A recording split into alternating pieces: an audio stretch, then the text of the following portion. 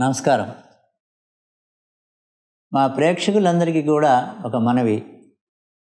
ఈ మాస ఫలితాల వీడియో నోటిఫికేషన్స్కి మా ఇన్స్టాగ్రామ్లో ఫాలో అవ్వాల్సిందిగా మనం చేస్తూ ఉన్నాం.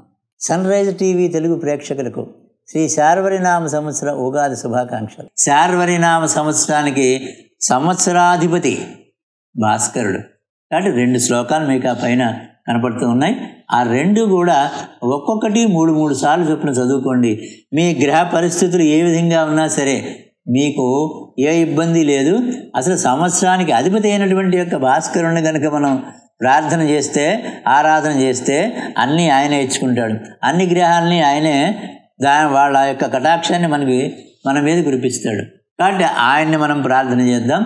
ఆ రెండు శ్లోకాలు కూడా పైన కనపడేవి. చక్కగా ఒక్కొక్కటి మూడు మూడు సార్లు చదువుకోండి. అన్నీ యోగదాయకంగా ఉంటాయి. దేని గురించి భయాందోళన చెందవలసినటువంటి యొక్క అవసరం మీకు లేదని చెప్పి మనం చేసుకుంటూ భాస్కరం శార్వరి సౌమ్యం భాషాపూర తదిన్ముఖం చక్రోజ్వలకరం వందే భాస్వద్రథ సమాశ్రయం.